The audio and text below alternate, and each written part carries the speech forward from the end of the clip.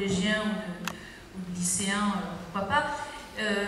mais là, on voit bien que de toute façon, le spectateur peut rester en éveil puisque tout ce qui est de l'ordre de, la sémantique dans le texte était parfois euh, travaillé au premier degré dans la mise en scène, donc levons le siège, effectivement, levons le siège, et ça fonctionne, et ça fonctionne aussi pour, susciter euh, l'écoute du spectateur.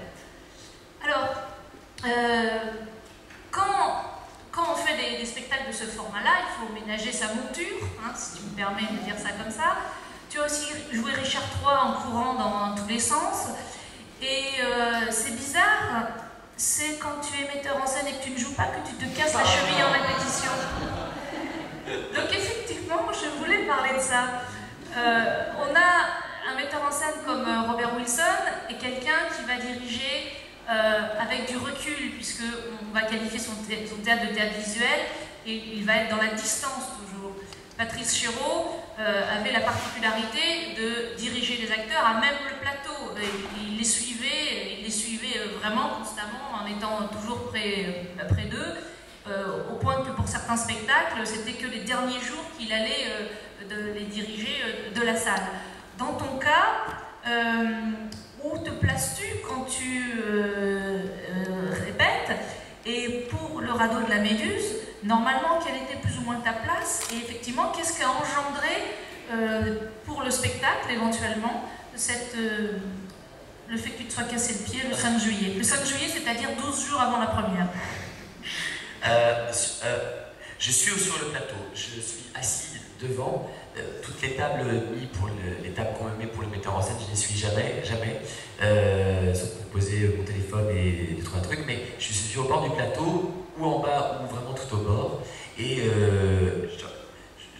dans le documentaire, on le voit d'ailleurs, je suis dans les acteurs je suis parmi eux sur le plateau et même des fois je trouve ça affreux d'ailleurs, je, pousse comme ça l'acteur bon, c'est assez, euh, Voilà, je suis à l'intérieur du processus, ça oui. Euh, je me suis cassé le pied en vraiment en ripant, enfin il y avait des gravillons au jardin Sécano et, et, j'ai loupé la marche, c'était nul, hein, c'était même pas spectaculaire, j'allais juste dire un truc à un acteur derrière le, décor, la, veille de la première. Euh, je, ne sais pas ce que ça signifie, je ne vais pas trop chercher. Euh, moi ça me fait plaisir parce que Gérard Philippe a fait la même chose, voilà. que ses euh, copains acteurs l'avaient porté, je devais jouer moi avec mes copains dans le ciel, la nuit et la pierre glorieuse, mais bon, je me suis dit que c'était pas une bonne idée je vais aller casser tout le rythme avec tout ça. Et, Philippe euh, s'était mal fait soigner, il a boité le reste de sa vie, donc je ne ferai pas le même chemin, je me soigne. Voilà. Mais euh, voilà pour l'épisode pied. Est-ce que toi tu y vois clairement une, euh, un sens? D'ailleurs, donc Henri 6, hein, vous avez le DVD. le DVD a été édité. Hein, il n'y a que moi qui. Alors, non, ce qui est amusant, c'est que justement, euh, Mathias Langhoff avait monté euh, Richard III avec Marcel Di Fonzobo. C'était un plateau complètement, euh, complètement déjanté, on va dire ça comme ça. et Marcel Di Fonzobo s'était cassé le pied à un moment pendant les répétitions, les Le jour de la première. Voilà. Alors. C'est vrai que c'est la même jambe, c'est vrai. C'est le choix qu'on a fait nous dans notre Richard, c'est cette jambe-là qui est, qui est avec une attelle. C'est vrai. Je, je vais aller en vacances un petit peu, puis je vais réfléchir.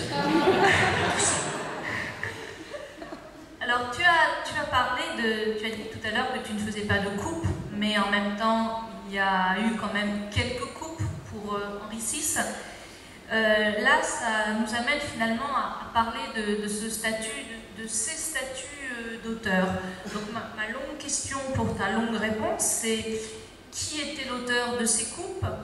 Est-ce que ces coupes euh, se sont réalisées avec ta dramaturge et toi ou avec le travail à la table? Est-ce que tu peux nous expliquer quel est le travail à la table dans ton processus de création Puisqu'il est, très important, vous avez beaucoup de, photos où vous voyez des attablés de 40 personnes à, table. Et est-ce que le travail sur le texte, pour toi, a une influence davantage sur ton jeu d'acteur ou sur ton travail de mise en scène, ou les deux? Alors, de même que l'auteur est le premier maillon, du coup le texte est le premier outil. Euh, metteur en scène et, d'acteur, les deux. Euh, pour le metteur en scène, concernant Henri VI, on a travaillé en fait longuement avec euh, Julie Laura Gersan, qui était dramaturge sur Henri VI. Quand je dis longuement, c'est-à-dire que ça a quand même démarré en, à l'été 2009. Oui, à l'été 2009 pour une fin de création à 2014. sur le. Alors, il y a des groupes, il y a quelques scènes coupées qui ne sont que des. En fait, toutes les groupes ont été choisis et faites ou parce qu'il y a des erreurs dans le texte, figurez-vous, que Shakespeare fait lui-même des erreurs, qu'il appelle cousin, ou euh, après il l'appelle euh, neveu, enfin voilà, des choses qui, ne sont pas cohérentes d'une pièce à l'autre. On relance le débat, est-ce qu'il les a toutes écrites, etc. On s'en fiche. Euh, et l'autre, les autres coupes ou les autres ajustements n'étaient dus qu'à, je crois, une façon aujourd'hui de savoir comprendre et, et lire un récit qui n'était pas la même qu'à l'époque. Aujourd'hui, on peut faire du split screen, c'est-à-dire d'avoir des, actions simultanées. On peut avoir euh, le suspense qui n'est pas exactement la même qu'aujourd'hui. Du coup, on a coupé des choses qui nous en disaient trop, qui étaient trop euh, redondantes. On a inversé des scènes, on a tuilé des scènes et des répliques pour, que, pour gagner en rythme et, et en suspense pour le coup. Et on a retiré aussi toutes les scènes qui font trop référence à une histoire d'Angleterre que nous, on ne connaît pas. Euh, parce qu'il faut se rappeler que Shakespeare écrit 100 euh, ans après les faits, qu'il n'y a pas d'Internet, hein, ça je ne vous apprends rien, il n'y a pas de télévision, euh, et que donc ces pièces sont quasiment des, chroniques, hein, inspirées en tout cas de vraies chroniques historiques, avec des vrais noms de, contes, etc., que nous, on n'a pas, dont nous, on n'a pas ni le souvenir, ni, même intérêt à, parce que ce pas des gens qui ont... Voilà. Donc on a ramassé aussi plusieurs personnages en un, pour cette raison-là, aussi pour des raisons que je ne pouvais pas avoir 400 euh, acteurs, donc euh, donc c'était aussi la question de dramaturgie, euh, comment, quel, quel rôle on donne à qui qui, qui ramassait les textes, voilà. Mais au départ, une fois que tout ça c'est fait, on a eu la brochure, et pour tous les travaux c'est la même chose, je passe effectivement beaucoup de temps à la table, parce que je pense en fait que c'est là que ça se passe. Ça se passe dans le travail, la, formule c'est euh, comment est-ce qu'un acteur, acteur, activé, action, active le texte pour que le texte l'active? Euh, je crois qu'il y a un, travail à, une coopération avec le texte, quelque chose qui doit s'inventer ensemble, où l'acteur active le texte pour être activé par lui, agit sur le texte pour être agi par le texte. Euh, c'est de euh, à cet endroit-là que je, travaille. Donc forcément, ça prend énormément de temps. Qu'est-ce que ça veut dire agir sur le texte pour être agi par le texte? Un texte est une chose euh, figée, plus ou moins figée, on peut faire des coupes, voir avec l'auteur si on peut la, faire des adaptations, etc. Mais c'est figé, c'est écrit, c'est inscrit, c'est une matière immuable, alors que l'acteur est une matière, mouvante, vivante. Euh, ça dépend de son état de santé, son état moral, son état de fatigue, son état de connaissance aussi du groupe. Il y a beaucoup de choses qui, entrent en compte. Donc, je dois faire rencontrer cette matière, on va dire, morte, en tout cas euh, immuable, avec cette matière vivante. Euh, ça passe par trois types d'appropriation. La première appropriation, elle est une appropriation, on va dire, technique. comment est-ce qu'on se met dans la bouche ce texte, labialement parlant, souffle, au niveau du souffle, de la, puissance vocale, euh, la ponctuation, euh, la forme du texte. Shakespeare, euh, c'est du vers, ça n'est pas comme Kaiser, c'est de la prose. Pourtant, dans Kaiser, il y a des drôles de tirets, je vous ai parlé, on ne sait pas trop quoi faire. alors que dans Shakespeare, il n'y a pas de tirets, mais il y a des phrases qui sont très, très, très, très, très, très, très longues. Enfin voilà, techniquement. Après, l'appropriation dite culturelle. Comment est-ce que je fais, euh, je suis un savant de mon texte, de mon texte à dire, mais du texte en règle générale, même de celui des partenaires de jeu, même ceux avec qui je ne joue pas. En tout cas, comment est-ce que l'acteur est savant de l'ensemble euh, de ce qu'il raconte. Là, sur Henri VI, c'est du coup être un crack sur la guerre de Cent Ans, être un crack sur toutes les références du texte, être un crack sur euh, être un crack. Sur Kaiser, c'est être un crack sur la politique de déplacement, par exemple, des populations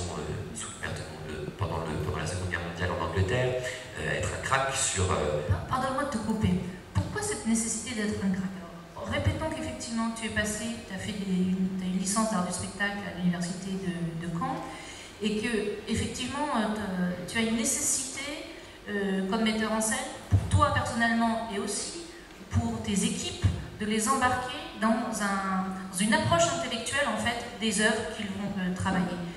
En sachant que d'autres gens, on a, tout à l'heure j'ai cité Robert Wilson, ne s'embarrassent pas de cette approche euh, intellectuelle. Ça ne veut pas dire qu'ils ne, ne, nous la restituent pas. Ça me semble être notre responsabilité d'artistes euh, et de créateurs et d'acteurs, de, de, metteurs en scène, etc.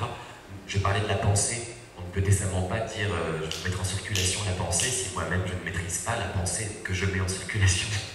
Euh, Henri VI euh, est une, est une pièce qui, euh, c'est pas le, pas le coup d'un classique qui nous parle de l'actualité, mais une pièce qui raconte un siècle entier de crise dans un État. comment est-ce que cette crise gangrène toute la population du peuple jusqu'au roi, comment chacun, et comment est-ce qu'elle se, est-ce qu'elle elle, envenime comme ça le palais entier jusqu'à faire advenir sur son trône un monstre, hein, Richard. pourquoi est-ce qu'on en arrive à, Richard III. Pourquoi est-ce que c'est possible que Richard III existe? Pourquoi est-ce que c'est possible qu'il se ferait un chemin si facilement? Parce que quand on relit Richard, Richard n'est pas un monstre. Il ne fait rien. Il ne fait rien. On le laisse tout faire. Comment se fait-il qu'un pouvoir, qu'une cité, qu'une population, qu'un pays entier laisse faire? Euh, à quel endroit d'abnégation, d'aveuglement euh, Donc nous, là-dessus, on est obligé de maîtriser notre sujet. Euh, maîtriser à la fois le sujet. Manipule, comme c'est exactement le cas dans le radeau de la Méduse. On a un personnage qui manipule et pourquoi, Et pourquoi Par exemple, dans le radeau de la Méduse, on dit Oh, elle est méchante, il y a une jeune femme, des enfants qui est très fervente religieuse et, dit que le texte, alors que c'est pas vrai en plus, hein, c'est une superstition, mais qu'on ne peut pas manger à 13 dans ce cadeau et qui donc passe un peu les détails, mais il faut qu'un un, d'entre eux euh, quitte le cadeau. Euh, et elle pose cet acte de violence, et elle va aller euh, assez loin, au nom du texte religieux. Mais nous, il faut qu'on sache si déjà le texte religieux dit ça. Il ne dit pas ça. Donc pourquoi alors ce personnage est à ce point violent? Parce qu'elle a peur. Elle a peur. Et pourquoi elle a peur? Parce que son esprit est arrêté, sa pensée, pour le coup, est arrêtée. Euh, elle est arrêtée sur quelque chose de culturel, de religieux, que lui ont appliqué ses parents, et que donc, voilà, toutes ces choses-là, nous, il faut qu'on puisse les porter, et cette appropriation culturelle, il faut qu'on en soit les, détenteurs euh, du sens. Euh, et après, on peut faire ce qu'on veut sur, le plateau. J'ai besoin que les acteurs ne soient pas que des interprètes, ce soit aussi ceux qui portent la pensée de, l'auteur. Est-ce que pour toi, ça nourrit, cette nourriture dramaturgique va nourrir l'acteur pendant les longs mois de représentation? Oui, et ils mettent en place un vocabulaire commun ensemble. Après, on peut, euh, avec par exemple Emma Liégeois, qui joue Anne, la première de représentation qu'on a faite ici, je la trouve, elle, je la trouvée trop vindicative, trop dans la la brutalité. Je lui dis, n'oublie pas que cette jeune femme n'est pas méchante, n'est pas, elle a peur. C'est pas la même chose. Et la peur va lui faire euh, faire ce qu'elle fait là. Euh, l'angoisse, la peur, oui, voilà. Et donc, et tout de suite, ça, s'est remis en place dès, la deuxième. Euh, et pour finir sur les appropriations culturelles, il y a aussi tout un tas de, de, bagages à se faire pour les acteurs au niveau pictural, au niveau cinématographique. On fait de tout, c'est-à-dire d'aller chercher dans tout, le bagage, notre bagage culturel. Euh, et on fait par exemple ce qu'on appelle les matières fun, c'est-à-dire qu'à la table, les acteurs amènent ce qu'ils veulent, tant qu'ils peuvent le, justifier vis-à-vis du texte. Ça peut être une recette de cuisine, un tube de, Britney Spears, ou euh, un, je sais pas moi, un texte de, la Bible, enfin peu importe, mais qu'on se fasse comme ça une matière, euh, une, un, petit trésor de matière. Et enfin, la dernière appropriation, et celle-là, je ne touche pas, elle regarde les acteurs, et seulement les acteurs, c'est une appropriation que j'appelle intime, c'est-à-dire qu'il se trouve que des fois, euh, en tant qu'acteur, on a euh, tout à coup une similitude, ou quelque chose qui nous rappelle euh, à nous-mêmes, en tant qu'acteur, en tant qu'interprète. du fait de la situation, d'une phrase, d'un mot, ou parce que tout à coup, je ne sais pas, on vient de se faire quitter, et tout à coup, j'en sais rien. Chose intime, et ça, je laisse les acteurs complètement libres et je ne vais jamais sur ce terrain-là. Donc, avec tous ces outils, ensuite, il s'agit de mettre en. activer ce texte-là, avec tout ça, euh, toutes ces imageries, pour que, à un moment donné, le texte active les acteurs. Je crois qu'un acteur joue par empathie. Voilà. C'est l'empathie qui fait. Euh, qui donne la puissance, qui donne la force des personnages. Et je crois que cette, cette empathie est très importante, puisque je crois que c'est cette empathie même qui fait tenir le théâtre depuis 2500 ans, encore aujourd'hui. Pourquoi? Parce qu'on a découvert il y a peu qu'il y avait ces fameux neurones miroirs. ces neurones miroirs qui nous mettent tous en connexion, en Wi-Fi, qui font que, pour ceux qui ne connaissent pas les neurones miroirs, c'est ceux qui s'activent par exemple quand quelqu'un baille, quand quelqu'un rigole et qu'on rigole, quelqu'un baille et qu'on baille. Et c'est ce qu'on appelle les neurones de l'empathie. Euh, qu'est-ce qui se passe alors dans une salle de théâtre? Un acteur est en empathie avec son personnage, je, je fais ça, mais il n'existe pas, euh, en empathie avec son personnage. Cette empathie est relayée via le public, il y a une empathie pour l'acteur, qui a une empathie pour son personnage. Je pense que c'est de ça dont il s'agit dans les salles de théâtre. C'est pas du tout un rapport frontal comme le cinéma, c'est pas direct comme le cinéma. C'est un rapport d'humain qui, avec son empathie pour cette chose qui n'existe pas, le personnage, bien, crée une empathie du spectateur pour cette chose qui n'existe pas, le personnage. Et l'acteur est la clé, et le passeur de cette empathie. Euh, et l'émotion, au théâtre, je crois qu'elle vient de là. pour cette empathie-là, il faut euh, la, nourrir, l'alimenter. Et c'est cette appropriation très longue à la table qui permet ça, je crois. Pour conclure cette première partie, euh, volontairement totalement euh, inégale par rapport aux autres, hein. euh, je voulais te demander, après la première, tu as fait 20 minutes de notes avec les acteurs. Ces 20 minutes de notes, en quoi elles ont consisté justement par rapport au spectacle? Euh, on se met en place des règles communes. Oui, j'ai oublié de dire ça à la table, il y a aussi toutes les règles du jeu qui sont mises en commun et après il suffit de jouer. Vous savez, moi je suis pour un. Que le metteur en scène n'existe pas. J'adorerais ça. Faire une distribution où on fait voilà, toi tu joues ça, toi tu joues ça, toi tu joues ça, allez-y. Et voilà. Et il n'y a plus rien à faire. Sauf que ça ne se passe pas comme ça. Et pour cette utopie-là, il faut, euh, il faut encore le, le metteur en scène. Et bien, le metteur en scène, les notes, c'est ça. Ça a été il y a beaucoup de choses, il y a des choses qui sont à la fois de l'ordre du texte, de la dramaturgie, de ce qu'on s'est dit en répétition, de ce qu'on a créé ensemble, c'est les notes les plus intéressantes. Et puis il y a les notes qui sont, on va dire, factuelles, du fait de, la salle, du temps qu'on a, euh, de l'acoustique, euh, la technique, par exemple. Je n'entends pas cette phrase parce qu'il euh, y a un spectateur qui a toussé et qu'au gymnase du lycée Saint-Joseph, dès qu'il y a eu tout, on loupe un mot. Voilà.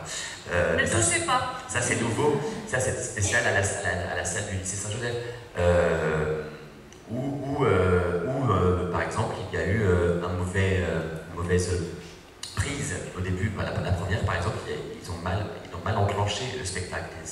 Par exemple, je leur parle, moi, pour le coup de l'empathie, du traumatisme que c'est pour ces enfants d'être dans un cadeau de sauvetage.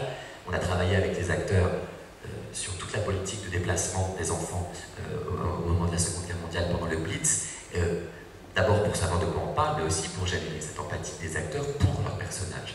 Et effectivement, on a, retracé comme ça le parcours d'un enfant qui s'appelait Harry Frederick Stills.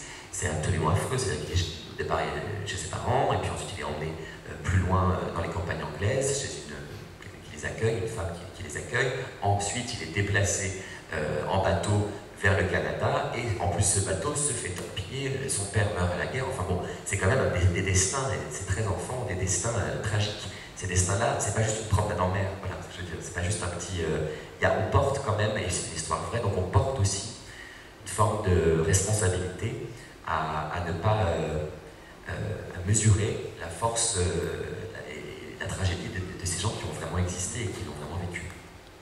Alors, dans, Shakespeare, c'est évident qu'on alterne des scènes qui sont tragiques avec des scènes grotesques, qui, toi aussi, t'ont permis justement d'amener un certain ludisme. Mais ce ludisme, on le, voyait dans Toa, on le voit dans tous les spectacles. Il est aussi présent, mais de manière euh, beaucoup plus euh, subtile, on va dire, dans, dans, le radeau de la Méduse. Euh, subtil, c'est pas le mot, mais là, j'en ai pas un autre qui me vient. Et j'ai l'impression dans ton travail, il y a une, petite dimension pédagogique. ça, c'est pour t'ennuyer.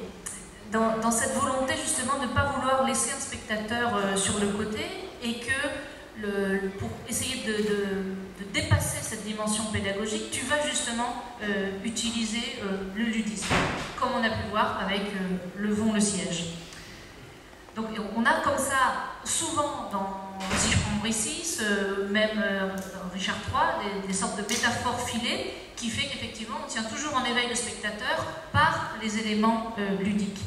Et dans, dans le ciel, La nuit et la pierre glorieuse, donc que tu n'as pas mis en scène. On retrouve aussi ce ludisme-là. Oui. Et, donc ma question, c'est finalement cet humour, est-ce que c'est un humour générationnel? Est-ce que c'est l'humour de la piccola Est-ce que c'est ton humour qui a des teints sur le leur ou le leur sur le tien? Euh, Humour qu'on retrouve aussi dans euh, les petites chroniques euh, où à un moment, hein, tu, parles de ta grand-mère qui dit, comme disait ma grand-mère, hein, euh, le bonheur, ça n'a pas de prix, sur euh, l'un des... L'un des petits- c'était ce sur lequel? Sur- c'était sur euh, les chiffres. sur les chiffres et le festival d'Avignon. Ah, c'est une étrange question.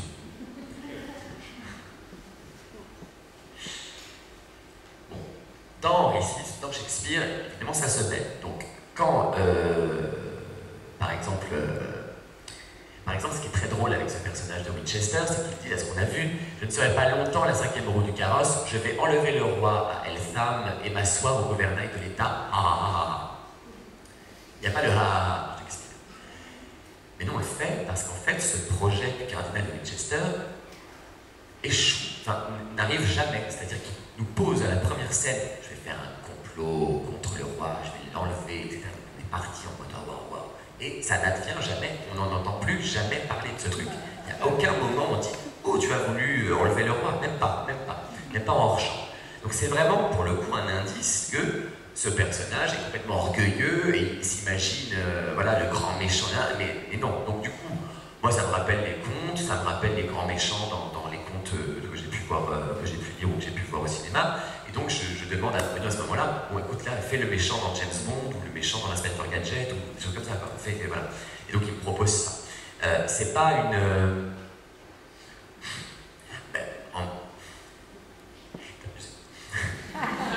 Levons le siège, par exemple, il se trouve que c'est du hasard, mais je n'avais pas de quoi faire les chevaux. Donc on était dans une église, je vous raconte la vérité, dans une église à Rouen, et il y avait toutes les chaises d'église qui étaient là, je dis, bah, des chaises, et puis faites ça, tac, tac, tac, sur des chaises, bah, finalement non, c'était trop long, donc il faisait comme ça, etc.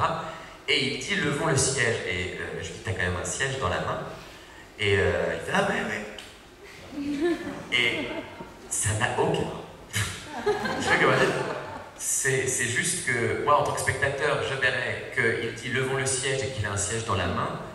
Je, je me dis pas pourquoi il, le- il y a un truc à faire. Non, voilà, c'est juste. Et il n'y a pas une volonté chez moi de, de vouloir faire rire pour gagner le spectateur. Même si, même si, le rire est pour moi la plus jolie manifestation euh, de, commun. C'est-à-dire que au début de Toa, par exemple, le premier rendez-vous de rire est un rendez-vous d'amour, c'est-à-dire que c'est une comédie hein, de, de Sacha Guitry, et quand on n'était pas au rendez-vous avec le public sur euh, le premier mot, euh, je ne sais plus quelle réplique c'était, c'était perdu bah, à jamais, c'est-à-dire c'était fini pendant toute la représentation. C'est vraiment un rendez-vous commun d'une connivence qui s'installe entre le plateau et la salle, dont oui, j'ai besoin. Peut-être qu'au début des spectacles, je glisse comme ça deux, trois choses pour essayer de, faire connaissance avec le public et pouvoir jauger euh, chaque jour ce qu'il en est. Peut-être c'est ça. Mais ça n'est pas une. Et puis après, je n'ai aucun problème avec l'humour. J'adore la comédie. Je ne crois pas du tout que ce soit un sous-genre. Au contraire, je pense que c'est plus dur encore que, que, que la tragédie. Parce qu'une tragédie dans une salle, on ne sait jamais si les gens sont saisis d'effroi ou saisis d'ennui.